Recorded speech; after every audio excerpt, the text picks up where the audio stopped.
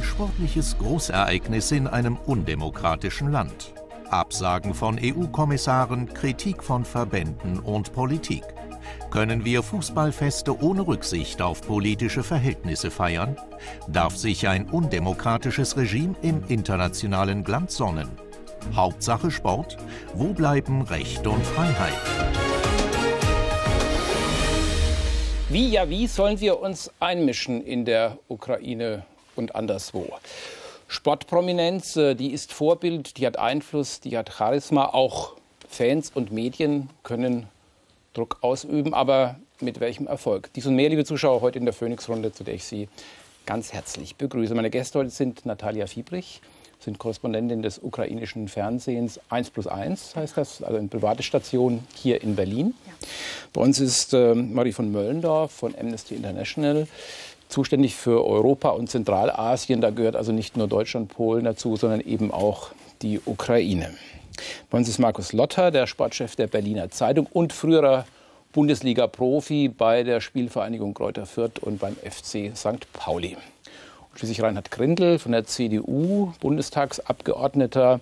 Sie sind auch Antikorruptionsbeauftragter des DFB und dort unter anderem auch Mitglied in der Nachhaltigkeitskommission des Deutschen Fußballbundes und auch erwähnen wir noch Vizepräsident des Niedersächsischen Fußballverbandes. Ja. Herr Grindel, ähm, die Empörung über die politischen Zustände in der Ukraine, die führt dazu, dass manche deutsche Politiker jetzt sagen, da fahren wir nicht hin. Also ich boykottiere durch Abwesenheit äh, diese äh, Europameisterschaft. Wäre es nicht vielleicht manchmal besser, vielleicht doch zu fahren und vorher bei Julia Timoschenko im Gefängnis vorbeizusehen? Ich glaube, dass man das Problem nicht alleine auf Frau Timoschenko äh, konzentrieren sollte, sondern es sind eine Vielzahl ihrer Minister und anderer Oppositioneller in Haft Herr Janukowitsch hat versucht, die Opposition durch diese Verhaftung und Inhaftierung zu enthaupten. Und es gibt äh, keine äh, Pressefreiheit, es gibt auch sonst undemokratische Strukturen. Insofern kommt es darauf an, generell die Situation in der Ukraine zu thematisieren. Das hat die Bundesregierung gemacht. Ich glaube, dass das auch von den Menschenrechtsorganisationen hinreichend äh, unterstützt und auch als angemessen betrachtet worden ist. Und das hat auch der DFB gemacht. Ich will darauf verweisen, dass Wolfgang Niersbach in mehreren Interviews Klarstellung bezogen hat zur Menschenrechtslage und auch Philipp Lahm. Und das finde ich eben auch ganz wichtig, dass ein äh, Spieler, der eben Vorbild für viele Menschen ja in unserem Land, gerade für Jüngere ist, das auch zum Anlass genommen hat, dieses Ereignis sich klar zu positionieren. Was erwarten denn die Ukrainer von Europa in diesen Fragen? Uh, wir würden schon sehr gerne die europäischen Gäste in der Ukraine begrüßen zu dürfen. Und uh, ich muss zugeben, uh, wir beobachten mit einem sehr großen Interesse die Stimmung in Europa und was man über uns alles schreibt. Ähm, es geht schon so weit, dass wir, ich als Journalistin, Berichte über Berichte mache. Und wenn ich teilweise lese, ähm, was über uns alles geschrieben wird, dann mache ich das mit einer großen Verwunderung.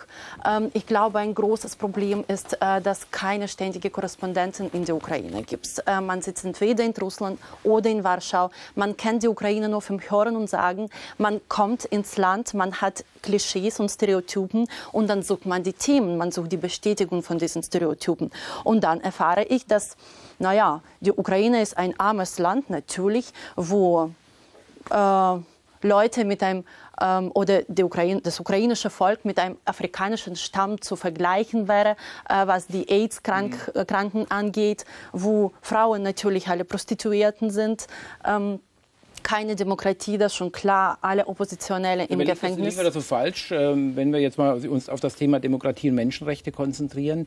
Ähm, wie empfinden denn die Ukrainer selbst diese Situation? Äh, wir sind schon sehr besorgt. Ähm, aber äh, da hatten Sie recht gehabt. wir dürfen uns nicht nur auf den Fall Timoschenko äh, begrenzen, weil gerade jetzt ist das Thema sehr präsent in den Medien. Gerade jetzt reden ganz viele Politiker darüber. Wir mussten aber schon früher damit leben müssen. Und äh, es geht natürlich um viele andere Oppositionelle, aber es geht auch um viele ganz einfache Leute. Mhm. Es geht um Geschäftsleute, die ähm, ihre Geschäfte kaum machen konnten. Es geht um Unterdrückung der Menschenrechte. Und ähm, natürlich wollen wir die Situation verändern, aber ähm, man ist in der Ukraine sehr müde, was äh, die Politik angeht. Äh, wir haben einen großen Schlag äh, gehabt mit der Orangenrevolution. Wir haben unsere größten Hoffnungen äh, darauf äh, gesetzt. Äh, und leider mussten wir die Enttäuschung erleben. Gut, wir wollen über die Menschenrechte reden. Ähm Frau von Möllendorf, ähm, jetzt hat diese Situation in der Ukraine jetzt ist ein großes internationales Turnier. Der Fokus ist darauf, hunderte von Millionen Menschen gucken dazu, aber schauen nicht nur Fußball, erfahren auch noch anderes über die Ukraine. Ähm, da gibt es ja noch diese besondere Situation, da treten jetzt internationale Stars auf, also Mesut Özil oder Ronaldo äh, von Portugal.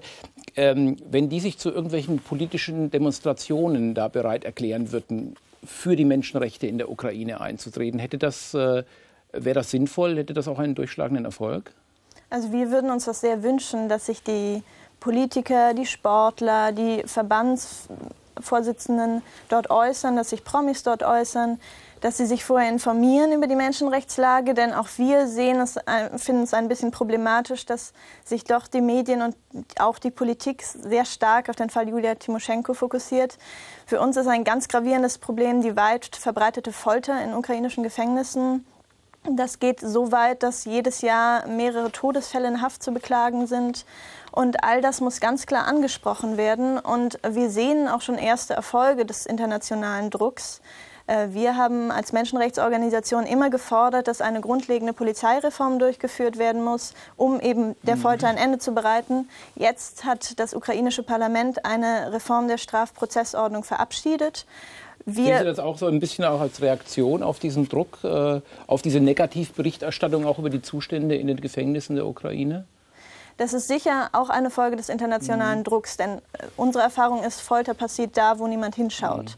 Mhm. Und äh, insofern ist das ein erster Erfolg. Jetzt gilt es dran zu bleiben und eben auch mhm. über die EM hinaus.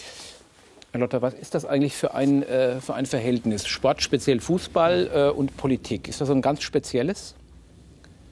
Es ist ein ganz spezielles, weil natürlich ähm, eigentlich die Sportler immer mehr oder die Fußballer jetzt im Besonderen immer mehr in die Verlegenheit geraten, dass sie eigentlich was sagen sollten. Ich glaube, manchmal verlangt man ein bisschen viel von 22, 23-jährigen, teilweise noch jüngeren Spielern.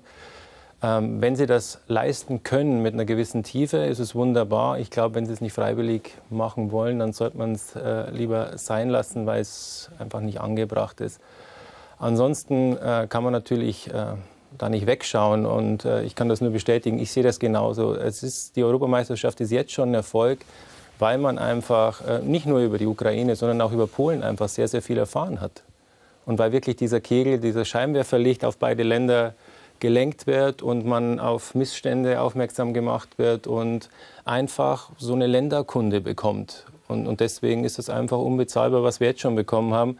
Anderes Problem natürlich, mhm. bricht das nach dieser Europameisterschaft schon ab? Mhm. Oder also das heißt, bricht das mit dem Anpfiff vielleicht gar nicht mal so schlecht, äh, wenn man das so betrachtet, dass auch in Staaten, die es mit Demokratie und Menschenrechten nicht so genau nehmen, solche Sportveranstaltungen stattfinden, denn die helfen ja möglicherweise auch der innenpolitischen Opposition. Herr Kieler, das war nicht die Überlegung bei der Ist Vergabe klar, meine, der Euro, denn damals war ja die Situation eine völlig ja. andere, das ja. darf man nicht vergessen. Was sicherlich richtig ist, dass die Sportverbände versuchen, äh, Großereignisse auch in Länder und Regionen zu tragen, in denen zum Beispiel der Fußball oder auch andere Sportarten noch nicht so populär sind. Und ich finde übrigens, das ist ja richtig hier angesprochen worden, dass auch die Ukraine, äh, die äh, Fans dort den Anspruch haben, eine solche große Veranstaltung einmal zu erleben. Der ukrainische Fußball hat sich ja ordentlich entwickelt. Man kann nicht sagen, das ist ein Entwicklungsland. Es gibt viele erfolgreiche Spieler, die ja auch in der Bundesliga spielen. Insofern haben die Menschen das Recht auf diese Europameisterschaft. Sie haben auch das Recht, dass sie stattfindet.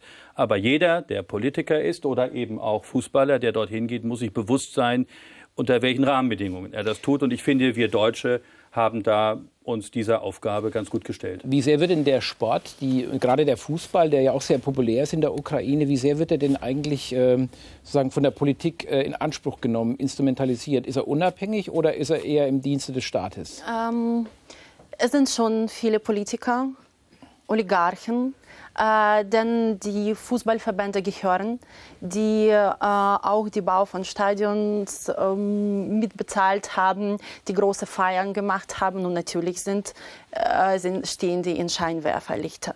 Äh, deswegen äh, da muss man sich natürlich im Klaren sein.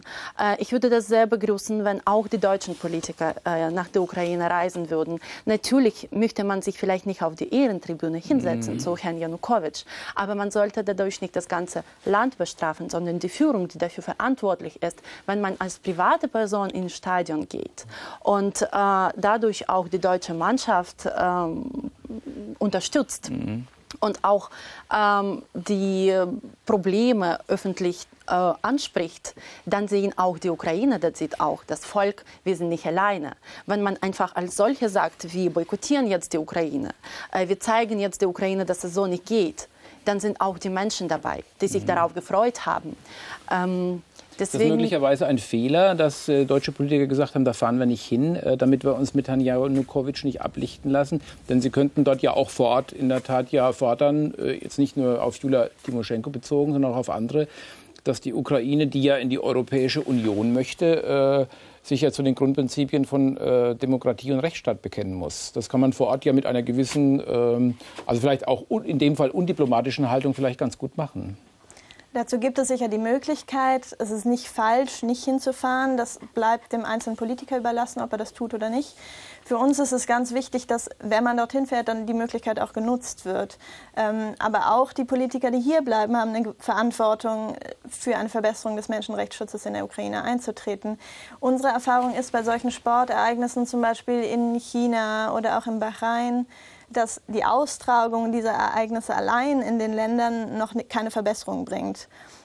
Was man machen muss, ist, diese Möglichkeiten zu nutzen. Und nur wenn das dann auch in eine sehr allgemeine, grundsätzliche Strategie für einen besseren Menschenrechtsschutz eingebettet ist, nur dann kann es Erfolg haben. Denn Verbesserungen im Menschenrechtsschutz durchzusetzen, dessen bedarf es einer, eines langen Atems und großer Beharrlichkeit. Insofern sehen also wir das viel länger dauert, als eine Fußball-Europameisterschaft gemeinhin dauert. Ist denn da die Gefahr relativ groß, dass das danach dann wieder absackt nach dem Motto, dann aus den Augen, aus dem Sinn? Ich sehe das nicht so. Bei Politikern sehe ich es ein bisschen anders als bei Fußballspielern. Ich glaube, die haben eine andere Verantwortung und die sollten sich auch überlegen, ob sie genau jetzt zum Boykott aufrufen oder da nicht hinfahren. Ich finde, es ist der absolut falsche Zeitpunkt für einen Boykott, weil den hätte man schon vor zwei Jahren anbringen können und diese Regierung einfach boykottieren können und nicht die Europameisterschaft. Ich glaube, da findet einfach keine vernünftige Differenzierung statt. Also, und, und das ist nie diskutiert worden. Also was mich sehr gestört hat, ist, als, so die, als das alles so in Gang gekommen ist mit Timoschenko, auch die eine sehr umstrittene Figur in, in der Ukraine ist, was man ja auch erst erfahren hat noch, oder noch mal erfahren durfte, ähm, da sind unglaublich viele aufgesprungen und haben natürlich aus der Hinterbank gerufen, ja, ich boykottiere auch diese Europameisterschaft. Und das ist ein Reflex, den es in Deutschland so oft gibt und der einfach wirklich doch Fahren ärgerlich Sie denn ist. Hin? Äh, ich also es ist bisher nicht geplant. Jetzt ja. wollen wir mal gucken, wie weit wir kommen. Wir das ja in der, äh, in der Vorrundenbegegnung äh, ist das ein zeitliches Problem. Ähm, ich will auf Folgendes hinweisen. Also warum fahren Politiker etwa äh, Mitglieder der Regierung äh, zu so einem Sportereignis. Doch um die Mannschaft zu unterstützen, um Sympathie äh, der Bevölkerung zu dokumentieren, der Truppe, die da antritt, auch um natürlich sportlichen Erfolg, der im Turnier schon erreicht worden ist, anzuerkennen. Und insofern ist eben gerade etwa bei der Überlegung des Bundesinnenministers, jetzt in der Vorrunde noch nicht zu fahren, natürlich auch die Überlegung auf der anderen Seite zu sagen, wenn man jetzt gleich zum ersten Spiel fährt, im Lichte der Diskussion könnte das dann auch falsch interpretiert werden, als ob er nun überhaupt kein Verständnis hätte für die Frage, wie man sich dort äh, nun äh, verhält. Insofern gehe ich davon aus, Herr Kehler, dass ähm, ab dem Viertelfinale auch Mitglieder unserer Regierung immer unterstellt, ähm, dass wir es erreichen. Und da sind wir ja guten Muts, äh, auch wenn Herr Lotter als Fußballer nicht mehr helfen kann, aber sei es drum. ähm, also ab dem Viertelfinale denke ich, wo dann die Unterstützung äh, auch da sein muss. Und wie gesagt, die Anerkennung für den sportlichen Erfolg. Und beim Halbfinale oder Endspiel wäre es dann sowieso klar. Insofern gibt es keinen Boykott, sondern es gibt ein sehr bewusstes mhm. Abwägen, richtige Gesten an den Tag zu legen. Also, ja, bitte. Also mir zu einer Antwort von Ihnen. Ähm, es wurde eben kurz so dargestellt, als wäre das so ein hehrer Ansatz, dass man ganz bewusst irgendwie eine Europameisterschaft nach Polen oder Ukraine vergibt, vielleicht 2020 nach Aserbaidschan und Georgien. Äh, weil man dann vielleicht irgendwas bewegt in diesem Land. Das ist ja nicht unbedingt der Fall. Also Aber zumindest die Entwicklung zu fördern. Ja, ja. Also ich sag mal so, Die Vergabe hm. damals für Polen, Ukraine war eine, weil diese Region äh, auch einmal dran war. Absolut, ja. Und äh, eine erfolgreiche sportliche Entwicklung genommen hat im Fußball und weil man natürlich auch ein bisschen darauf vertraut hat, dass die Kooperation zwischen Polen und der Ukraine, die, der polnische Verband ist ja ein großer Fürsprecher auch der ukrainischen äh, Fußballorganisationen, also dass die Kooperation etwas stärker ist, als sie jetzt sich darstellt. Leider haben wir ja eine Fußball-Europameisterschaft, ganz, ganz, unabhängig von den äh, politischen Fragen, äh, die im Grunde genommen in zwei Ländern stattfindet, mit getrennten Organisationskomitees, wo eben leider wenig zusammenwächst. Aber vielleicht, äh, wenn wir da auf diese Vergabe noch mal kurz eingehen, auf unserer Facebook-Seite haben sich Zuschauer gemeldet. Also einer fragt, wo waren die Vertreter der Politik und der Gesellschaft, als die EM vergeben wurde? Die Menschenrechtssituation in der Ukraine ist ja nicht erst seit gestern eine Katastrophe. Und hätte man, Frage, die EM der Ukraine nicht wieder entziehen müssen?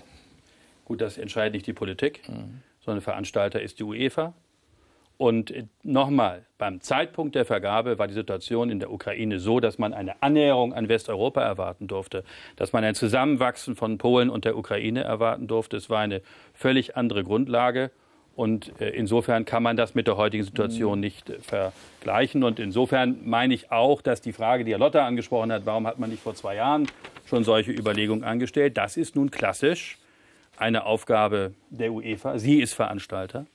Und ähm, diese Diskussion werden wir ja sicherlich auch noch haben beim Eishockeyverband, wenn man an die äh, Spiele in Weißrussland denkt. Äh, vielleicht noch ein kurzer Blick auf Ukraine. Ähm, das Land ist wahrscheinlich stolz. Die Menschen sind stolz, dass ein solches Turnier da stattfindet. Was jetzt über, Sie haben es ja vorhin in Ihrer ersten Antwort so ein bisschen angedeutet, was jetzt so über die Ukraine alles verbreitet wird. Also gerade jetzt, wir reden aber über Menschenrechte. Ähm, gibt das so einen kleinen Knacks, so, in das, ähm, so einen Kratzer äh, in der Ukraine, dass man sagt, eigentlich, eigentlich haben wir uns das anders vorgestellt, ohne diese unschönen Kommentare? Natürlich hat man sich das anders vorgestellt. Äh, in vielen Hinsichten. Äh, man hat sich auch vorgestellt, dass das Land als solches sich besser vorbereitet. Ähm, noch vor dem Fall von Timoschenko, als alle plötzlich über sie redeten, äh, da hat man über, äh, über Straßenhunde geredet, die getötet werden. Man hat über zu teuren Hotels geredet. Und natürlich ähm, ist es uns zu schade. Und da wollten die Ukrainer auch selbst was tun. Äh, darüber erzählt hier keiner, aber es gibt eine große Gruppe äh, sich, der Ukrainer, die sich in sozialen Netzen verabredet und die jetzt für die Touristen kostenlos Unterkünfte anbietet bei sich zu Hause oder Führungen, äh, Stadtführungen anbietet. Natürlich äh, ist es uns schade, dass es so gekommen ist. Deswegen befürchte ich, dass das möglicherweise kein Fest der Leute sein wird. Mhm. Es ist irgendwie alles so organisiert, dass die Eliten die eingeladen kommen, in schon neuen Ter Terminals äh, da landen, in schon Hotels, teuren Hotels wohnen. Aber die einfachen Leute, die Ukraine, die sind irgendwie, die stehen abseits. Ähm, und darum würde ich nur an die Politiker appellieren, äh, europäischen Politiker, dass man, dass man nicht das Land als Ganze abgrenzt. Und was ich auch bei, bei den deutschen Politikern teilweise feststellen muss, dass man äh, sich die Ukraine irgendwie diese Situation in der Ukraine so schön ausgemalt hat. Man hat auch die Vorstellungen, was nicht immer zustimmen. Wenn Renate Künast sagt, dass äh, die deutsche Mannschaft möglicherweise ein Zeichen setzen sollte im Stadion für äh, Frau Timoschenko und für ihre Freilassung und vielleicht mit einem orange, äh, orangen Schall äh, da irgendwie rumlaufen würden, ich kann Ihnen nur versichern, die Ukrainer werden das gar nicht verstehen, worum es geht und denken, was ist jetzt los ja, mit den Deutschen. Die Revolution war ja etwas, was uns ja möglicherweise so ein bisschen hm, vielleicht auch die Sicht verstellt hat, wie es in diesem Land noch wirklich aussieht. Haben wir das ein bisschen zu blauäugig gesehen, äh, was die politische Entwicklung, also Sie beobachten die Ukraine seit langer Zeit, ja. was die politische Entwicklung des Landes angeht, so in den letzten zehn Jahren bis zum heutigen Tag? Also wir sehen schon systematische Menschenrechtsverletzungen, die schon ganz lange anhalten. Insofern sehe ich es nicht ganz so wie Sie, dass es eine völlig andere Situation war damals. Auch damals gab es systematische Folter, auch damals gab es Rassismus, der selten untersucht, selten strafrechtlich verfolgt wurde. Und auch Julia Timoschenko hat dagegen nicht äh, wirkungsvoll äh, Maßnahmen ergriffen. Insofern ist was damals keine völlig andere Situation. Das heißt nicht, dass Amnesty International dafür eintritt, dass die Ukraine nicht den Zuschlag hätte erhalten dürfen, sondern dass man vielleicht auch im Vorfeld solcher sportlichen Ereignisse und im Sport Vorfeld der Auswahl ähm, ein bisschen zu, mehr zusammenarbeiten kann, dass man klare Zielvorgaben setzt für die Vergabe der, der Wettkämpfe und dann sozusagen auch nach diesen Zielvorgaben danach ähm, die Entwicklung misst. Ähm, wie groß ist die Gefahr eigentlich für Sportveranstaltungen, immer zur Staffage von Diktaturen zu werden? Also da gibt es ja die berühmten Beispiele 1980, schon 1978 in Argentinien, 2008, äh, äh, Reinhard Grindel hat es schon angesprochen, da ist jetzt auch noch die Eishockey-Weltmeisterschaft ausgerechnet nach Weißrussland vergeben worden. Dort sind die Zustände ja noch um einiges schlimmer als in der Ukraine.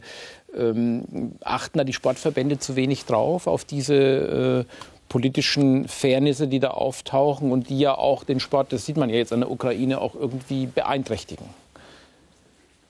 Ja, okay, ich glaube, da, da gibt es einiges an, an Nachholbedarf. Bei, genau in diesen Exekutivgremien, glaube ich, sind einfach noch immer äh, Leute, die sich einfach durch eine hübsche Reise beeinflussen lassen, die ähm, durch Zuwendungen natürlich äh, vielleicht ihre Meinung ändern.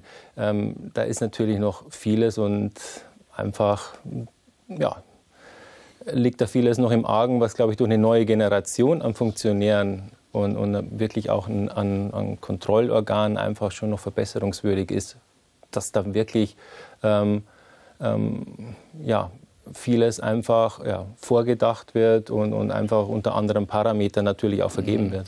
Gibt es auch innerhalb des Sports jetzt möglicherweise Auseinandersetzungen? Philipp Lahm hat ja so gesagt, eigentlich müsste die UEFA politischer werden und Platini, der Präsident der UEFA, hat gesagt, kommt überhaupt nicht in Frage, dass jetzt eine Diskussion an diesem Beispiel entsteht, äh, welche Rolle der Sport vielleicht über die rein sportliche Leistung hinaus gesellschaftlich auch noch hat, gerade dann, wenn es zu solchen, äh, zu solchen Situationen kommt. Also die Stellungnahmen nicht nur von Philipp Lahm, sondern auch von Wolfgang Niersbach auf der einen und Michel Platini auf der anderen Seite unterscheiden sich. Das ist festzuhalten. Ich finde auch, dass die Reaktion von Herrn Platini auf Philipp Lahm überzogen war.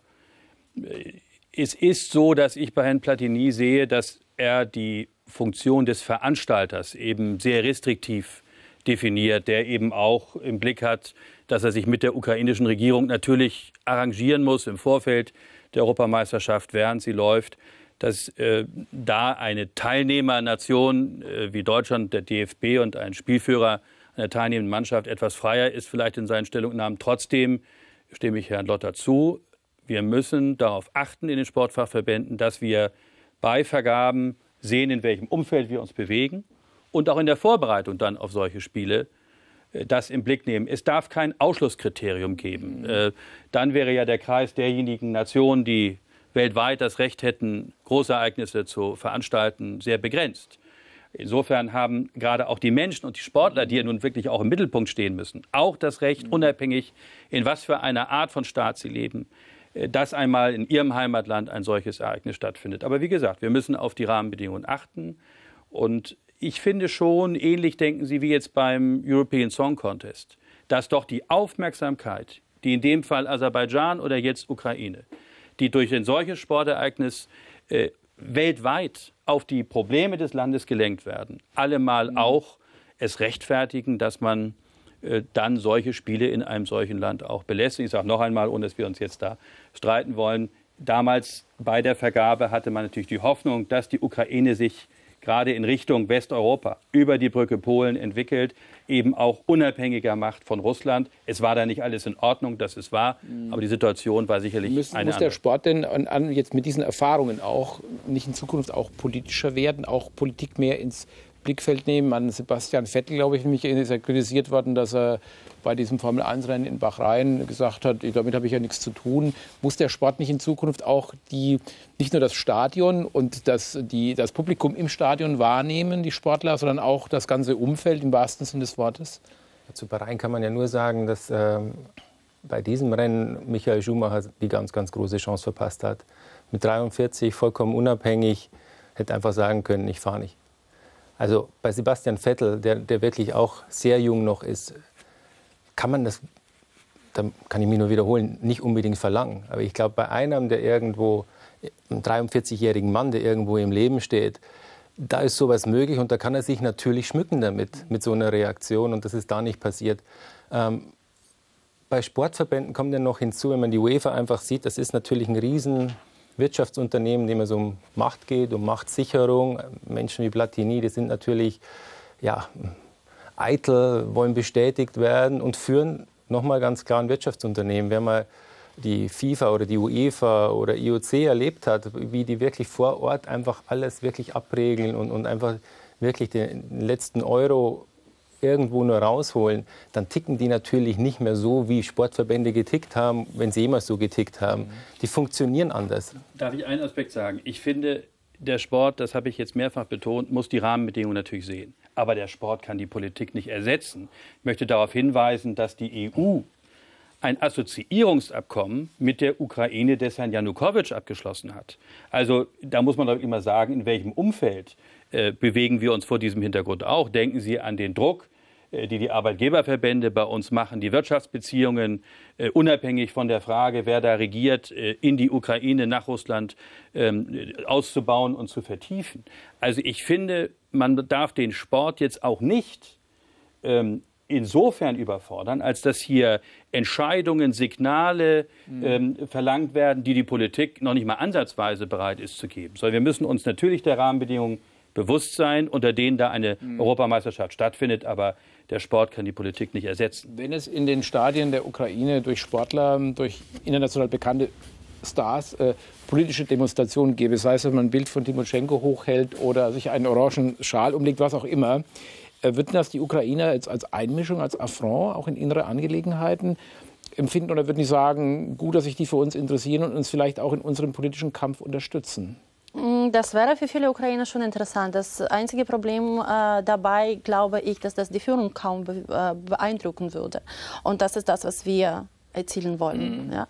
Ähm, mit der orangefarbenen Schal, also bitte nicht, weil sonst werden wir denken, sie, sie jetzt unterstützen Niederlande oder so. Also mhm. die Ukraine ja, werden also das, gar nicht. Sein, dass nicht um, ähm, dass die ähm, äh, muss natürlich klar sein, dass damit die orangefarbene ähm, Revolution nicht Oranje gemeint ist. Ähm, aber also das würde man das als Unterstützung empfinden oder eher so nach dem Motto, die sollen sich da raushalten? Ähm, nee, man würde schon gerne ähm, die, die Europäer auch mitreden lassen. Ähm, aber nicht nur als Zeichen setzen, nicht nur als irgendwie, jetzt halte ich ein Bild von Timoschenko und dann gehe ich raus und äh, ja, sowieso mit dem Charterflug geflogen, ich übernachte nicht in der Ukraine, jetzt zurück mhm. nach Deutschland und vergessen. Mhm. Ähm, sondern wir brauchen langfristige Projekte, wir brauchen wirklich mehr Austausch. Ähm, nur jetzt durch die EM werden wir wenig bewirken können. Ähm, ich möchte Ihnen eines vor Augen führen. Statistisch gesehen, äh, 77 Prozent der Ukrainer waren niemals im Ausland gewesen und ungefähr 36 niemals aus ihrem Region irgendwo. Viele Ukrainer wissen gar nicht, wie das anders geht. Viele Ukrainer wissen gar nicht, wie das in der Welt ist und in Europa auch. Und ähm, wie, wie, wollen wir von den Menschen erwarten, dass wir jetzt in zehn Jahren ganz schnell Demokratie äh, gemacht haben, äh, ganz schnell alles gebaut haben und nach europäischen Standarden, ähm, Standarden leben. Mhm. Deswegen also, was ich sagen möchte, ähm, man wird kaum als Einmischung gesehen, wenn man da irgendwie was sagt. Nur, ich glaube, man wird schon ähm, erkennen, inwieweit glaubwürdig das ist. Ob das jetzt nicht einfach um quasi mich zu zeigen, ja, als Politiker. Ähm, mich ins Gespräch zu bringen, dass jetzt die deutsche Presse über mich schreibt und nochmal mich erwähnt, sondern dass man wirklich was bewirken möchte.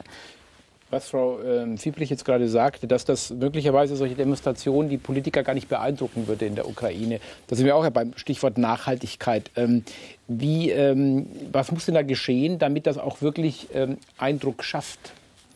Es muss konsequent sein. Es muss begleitet werden von Maßnahmen davor und danach. Wir beobachten in der Ukraine einen sehr starken Drang nach Europa. Das kann genutzt werden für einen besseren Menschenrechtsschutz. Man kann immer wieder darauf pochen, dass Menschenrechtsverletzungen abgestellt werden müssen, damit dieser Weg nach Europa äh, schneller beschritten wird. Insofern gibt es durchaus Möglichkeiten, Druck auszuüben. Und das wird schon sehr genau registriert, ob das konsequent ist oder nicht. Wir sehen es zum Beispiel in Aserbaidschan. Da hat selbst während des Eurovision Song Contest, als die ganzen internationalen Medien auf das Land geschaut haben, wurden Demonstrationen gewaltsam aufgelöst vor den Kameras. Und das bedeutet für uns doch, dass die aserbaidschanische Regierung sich relativ sicher zu sein scheint, dass nach dem Eurovision Song Contest der Druck auch wieder nachlässt. Also das hat eigentlich gar keinen Eindruck gemacht oder macht eigentlich, ist ja Ihre Erfahrung, ich frage Sie ja nach Ihren Erfahrungen ja. mit diesen Ländern. Da sind eine ganze Reihe von Ländern, die äh, es mit der Demokratie nicht so genau nehmen. Das macht im, im, Regelfall keinen Eindruck. Man kann sie auf Dauer damit nicht beeindrucken. Wenn es punktuell bleibt. Wir kämpfen dafür, dass es die Aufmerksamkeit erhalten bleibt, zumindest von der Politik man hat immer viele Ansatzpunkte. Die aserbaidschanische Regierung, die ukrainische Regierung sind schon sehr auf ihr Ansehen innerhalb Europas ähm, bedacht. Und das muss man konsequent nutzen.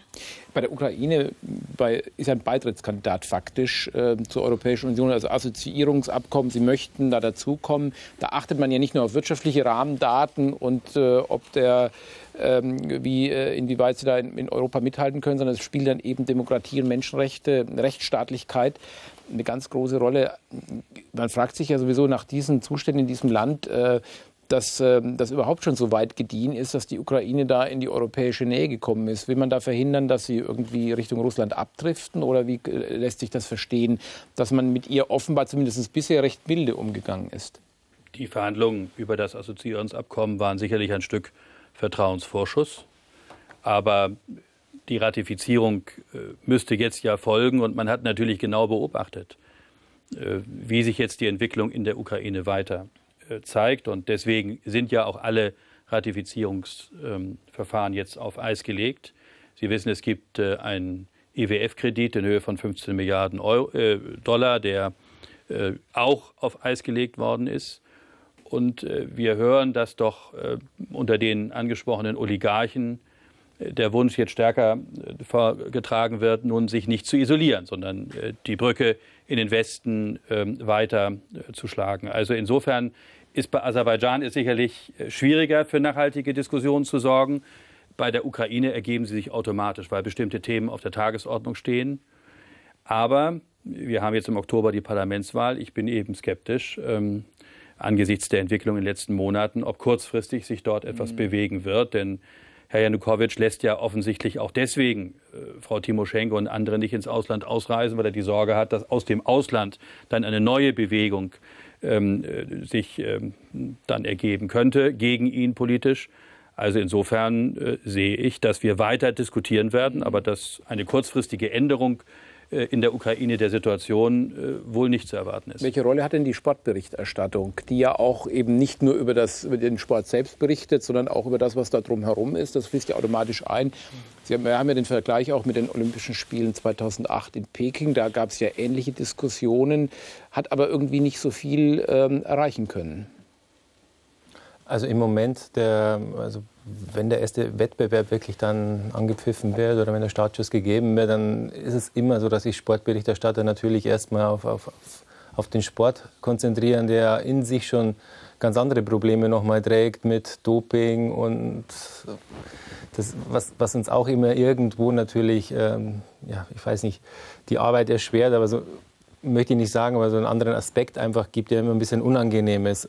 Ähm, ansonsten, ähm, glaube ich, muss man auch da sehen, dass äh, viel wichtiger wäre, dass man natürlich eine politische Korrespondenz dann aufrechterhält und dass das nicht nur zu, im, im, Vorlauf zu so, einem, zu so, einem, Ereignis einfach dann äh, politisch äh, be, begleitet wird. Also ich glaube, da ist eine Sportberichterstattung. Wir sind in dieser Hinsicht keine Experten und haben auch nicht, oftmals nicht die nötige mhm. Ausbildung und das nötige Feedback dafür. Das ist dann, glaube ich, einfach zu viel verlangt. Also dann ist eine wirklich der Mann vor Ort, politisch gebildet, ähm, wesentlich wertvoller und wichtiger, um überhaupt, ich sage mal, ein bisschen was zu bewegen. Sie sind ja für Zentralasien auch noch zuständig. Ähm, Reinhard Grindel hat es gerade gesagt, Ukraine ist relativ nah bei uns, nicht nur geografisch, sondern auch politisch. Die wollen in der Europäischen Union mitmischen. Ist da die Aussicht dann viel größer als in anderen Ländern Zentralasiens, dass sich da die Situation bessern könnte? Man hat natürlich mit der Annäherung an die EU immer ein gutes Druckmittel in der Hand. Aber auch für andere Staaten gilt, man hat ja andere, man hat Handelsabkommen, man hat alle möglichen Arten von Kooperationen und man hat sehr viele Treffen, auf denen man Menschenrechts, ähm, die Menschenrechtssituation ansprechen kann. Und das wird leider häufig bei Ländern, die für die EU wichtig sind, immer noch sehr verhalten getan. Äh, das heißt ja, ähm, so eine These ist ja auch, dass Sport und Menschenrechte sind ja eigentlich fast natürliche Verbündete. Also Sport bringt die Menschen zusammen, das soll unterhalten, das soll Spaß machen, das soll Spannung ähm, äh, vermitteln, äh, soll die Menschen äh, anregen. Da gibt es ja diesen schönen Satz von Nelson Mandela, der Sport hat die Kraft, die Welt zum Guten zu verändern. Ähm, Sind da die gewisse Hoffnung auch bei der Europameisterschaft jetzt in der Ukraine, dass dieser, dieser menschliche Aspekt da noch zum Durchbruch kommt? Ehrlich gesagt nicht wirklich. Ähm, die Ukraine können nicht glauben, dass nur durch die EM äh, was zu verbessern wäre. Ähm, ich habe schon gesagt, wir brauchen wirklich langfristige Projekte. Wir müssen auf die Leute setzen. Wir müssen, wir, die Ukraine braucht äh, neue Generation von Politikern. Das ist auch das Problem, dass wir auch bei der Opposition nicht wirklich Alternative sehen. Für wem sollen wir stimmen? Äh, wir brauchen junge Leute, gut ausgebildete, die Demokratie gelebt haben, die auch im Ausland gewesen sind. Aber 77 Prozent waren noch nie im Ausland gewesen. Naja, es ist nicht immer einfach, ein ja. Visum zu bekommen, mhm. das muss ich Ihnen sagen. Ja. Äh, und gerade jetzt ähm, Vielleicht ist es einfach die Stimmung so, aber gerade jetzt höre ich äh, in den letzten Wochen äh, viele intellektuelle äh, Künstler, Schriftsteller, die sogar mehrmals in Deutschland gewesen waren. Ähm, die haben eine Absage bekommen von der deutschen Botschaft. Ich möchte nicht unterstellen, dass da irgendwie eine Anweisung gegeben äh, war, auf keinen Fall. Äh, natürlich sind da immer die örtlichen Kräfte, die das entscheiden. Aber das ist immer ein Hindernis, auf jeden Fall. Und ähm, auf irgendwelche Art und Weise auch eine Erniedrigung. Ich muss Ihnen das mhm. wirklich sagen. Wenn ich sehe, ähm, wie Rentner teilweise, die ihre Kinder oder Enkel irgendwo besuchen wollen in Deutschland, äh, ganz teure Checks für ein paar tausend Euro kaufen müssen, was die natürlich nicht machen können, wenn die da irgendwie ein bisschen Rente bekommen. Und äh, die Leute, die Geld haben, also das, was Sie jetzt in der Ukraine da erleben, ähm, was ja auch eine Rolle spielt, nicht äh, gerade die Europameisterschaft dann auch der Anlass sein, sich um dieses Land und auch andere Länder, wo das ähnlich ist, noch viel mehr zu kümmern? Sind wir dazu ähm, ähm, zu zurückhaltend? Äh, muss, müsste, müssten die noch sehr viel mehr gerade im sozialen, im menschlichen Bereich gefördert werden? Das glaube ich eigentlich nicht, weil ja das Assoziierungsabkommen ja gerade zeigt, dass wir da einen sehr großen Schritt äh, gemacht haben. Es gibt ja auch andere Vereinbarungen über in der Tat auch ähm, Visaerleichterungen, die in der Diskussion, in der Verhandlung sind, um gerade eben den Austausch etwa auf wissenschaftlicher, auf äh, universitärer Ebene auch mit Künstlern zu erleichtern. Insofern äh, glaube ich, dass äh, es eigentlich sogar anders ist, dass die Ukraine ja in besonderer Weise sich ähm, in Westeuropa eines großen Interesses erfreut, weil natürlich es ein ähm, auch europäisches Interesse gibt, wiederum äh, sie nicht Russland zuzutreiben, sondern zu einem Land Europas zu machen und dann irgendwann auch in einer politischen Union möglicherweise. Also, dass wir das vernachlässigt hätten, kann ich eigentlich äh, nicht erkennen. Darf ich hinzufügen? Ähm, da muss ich Ihnen leider entgegensetzen. Ich bin mir ganz sicher, wenn im Jahr 2005 äh, die Ukraine eine klare Perspektive erhalten hätte, dann wäre auch die Entwicklung ganz, ganz anders gewesen. Die Ukraine wurde alleine gestellt, äh, nachdem wir die Orangene Revolution geschaffen haben. Ähm, ich habe oft ähm, zitiert, die Aussagen von vielen Politikern zitiert, die Tür ist nicht zu, aber die Tür mhm. ist auch nicht offen. Das haben wir schon mhm. so oft gehört. Mhm. Und äh, diese Perspektive hätte uns wirklich helfen können. Darf ich nur eins sagen? Ähm, es kommt ja nicht nur auf die Beitrittsfähigkeit eines Landes wie der Ukraine an, sondern auch auf die Aufnahmefähigkeit der EU. Und wir haben natürlich 2005 die Situation gehabt des Beitritts der zehn neuen Länder. Und dass man damals gesagt hat, jetzt müssen wir erst einmal schauen, wie wir die Integration dieser zehn neuen Beitrittsländer, die ja wahrlich auch ihre Probleme haben, denken Sie an Rumänien und Bulgarien, ähm, auch die Slowakei, da ist ja auch, wenn Sie an Korruption denken, äh, nicht alles äh, so, wie es eigentlich äh, in der europäischen Gemeinschaft der Werte sein sollte. Insofern ist das, glaube ich, vor dem Hintergrund zu bewerten, dass man gesagt hat, also jetzt haben wir diesen Big Bang der zehn Länder gehabt und jetzt wollen wir uns nicht überfordern, indem wir jetzt auch noch ein so großes und ja auch nicht ohne Probleme behaftetes Land wie die Ukraine dazunehmen. Also das würde ich nicht als gegen die Ukraine gerichtet sehen, sondern als einen Hinweis auf die mangelnde Aufnahmefähigkeit mhm. der EU zu dem Zeitpunkt. Da wir jetzt alle sensibler geworden sind in vielen Fragen, müssen die Sportverbände äh, in Zukunft äh, nicht mehr Rücksicht noch auf solche Dinge nehmen. Da gibt es jetzt in Bezug auf die Eishockey-Weltmeisterschaft in äh, Weißrussland 2014. Ich habe es ja kurz vorhin schon angesprochen. Glaube ich sogar eine Bundestagsinitiative. Einige Parteien haben ja gefordert, dass äh, die EM dort, äh, dass die Eishockey-Weltmeisterschaft dort nicht stattfinden darf. Wird, müssen die Sportverbände auch damit rechnen, dass die, dass die Politik da mehr Einfluss auf sie auch versucht zu nehmen und sie auch versucht stärker unter Druck zu setzen?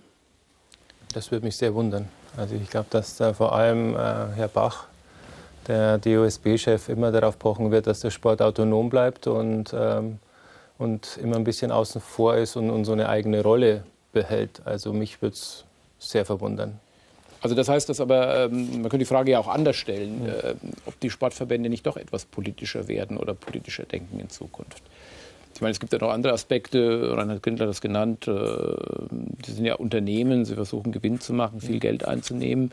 Verändert sich, ich habe gesagt, dass man die, den Sport auch in Regionen trägt, in denen er bisher nicht mit solchen großen Veranstaltungen vertreten war oder wo eben Sport noch nicht die Nummer eins ist. Diese Äußerung, ist, okay, ist, also ich, weiß, äh, äh, ich wollte Ihnen nicht unterstellen, was ich nicht ist klar, Geld nein, machen, ja. ist äh, richtig. Ich wollte Ihnen das nicht unterstellen. Sie haben es ja selbst gesagt. Diese, es geht nicht nur um den, den wirtschaftlichen Aspekt, äh, sondern eben auch ähm, um die Frage, inwieweit man da äh, auf eine verändernde Weltlage, auch ein veränderndes Bewusstsein bei Sportlern, bei Fans äh, vielleicht auch reagieren muss. Ähm, also jetzt Stichwort, dass man politischer denkt ja, zumindest ethischer oder dass man irgendwie, irgendwie ja, sich natürlich mehr Gedanken macht. Nun muss ich da immer wieder auf die Besetzung dieser mhm. Posten mhm. natürlich in den Verbänden auch einfach ähm, immer wieder hinweisen, wer sitzt da, ähm, ist es ehrenamtlich, äh, kann man das dann wirklich von der jeweiligen Führung dieses Verbandes dann auch verlangen, wer sitzt da. Und auch da kann ich immer nur sagen, ähm, auch da braucht es in vielen Verbänden, auch in deutschen Sportfachverbänden natürlich eine Auffrischung, die aber auch auf sich warten lässt. Ethik und Geschäft verträgt sich aber oft ja nicht so, kommt häufiger vor. Ähm, von Möllendorf, ähm, ist Sport vielleicht sogar, wenn Sie jetzt mal betrachten, die, ähm, der Kampf für die Menschenrechte in vielen Ländern, ist Sport möglicherweise sogar das effektivste Kampfinstrument für Menschenrechte und gegen Menschenrechtsverletzungen? Es ist vielleicht ein Mittel, um sich dafür einzusetzen. Es ist ein Mosaikstein, ähm, der begleitet werden muss von ganz vielen anderen Maßnahmen. Natürlich ähm, ist, kann der Sport, wenn er gut läuft, ein Symbol für gute Zusammenarbeit, für Respekt, für Fair Play sein, ähm, was auch im menschenrechtlichen Bereich vonnöten wäre. Aber man kann trotzdem nicht die ganze Verantwortung auf den Sport äh, lasten lassen. Es war, war ja die Frage, ob es ein Hilfsinstrument ist oder eine wichtige genau. Hilfe genau. sogar und dass man vielleicht sogar stärker darauf noch ähm, sich ähm, konzentrieren sollte. Also die Sportverbände sollten tatsächlich ihrer Verantwortung gerecht werden und sich deutlicher äußern. Das kann ein wichtiges Instrument sein und die Annahme, Sport sei unpolitisch, ist falsch und meiner Meinung nach naiv, denn selbst wenn man sich nicht zur Menschenrechtslage äußert, ist Sport und sind gerade solche Veranstaltungen schon politisch, weil sie eben oft dazu genutzt werden, um das Prestige der jeweiligen Regierung zu stärken. Und dieser Verantwortung muss man sich schon sehr genau bewusst sein und sich informieren darüber, was in diesem Land läuft und in dem Bewusstsein dann für einen besseren Menschenrechtsschutz eintreten. Gut, wir werden diese Worte äh, im Gedächtnis legen, liebe Zuschauer. Am kommenden Freitag beginnt die Fußball-Europameisterschaft in der Ukraine. Ich denke aber, das ist ein Blick auch auf diese Probleme, äh, nicht nur in der Ukraine, auch in Polen, wollen wir nicht vergessen. Aber der Blick auf die Ukraine hat uns natürlich jetzt auch politisch interessiert. Bleiben Sie bei Phoenix.